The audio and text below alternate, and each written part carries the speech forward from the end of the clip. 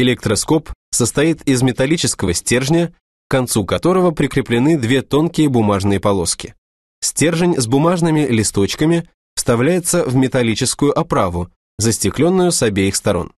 Чтобы стержень не касался оправы, его пропускают через пластмассовую пробку. Если заряженным телом или палочкой дотронуться до стержня электроскопа, то бумажные листочки оттолкнутся друг от друга. При этом чем более наэлектризовано тело, тем на больший угол они разойдутся. Значит, по изменению угла, на который расходятся листочки электроскопа, можно судить о степени наэлектризованности тела.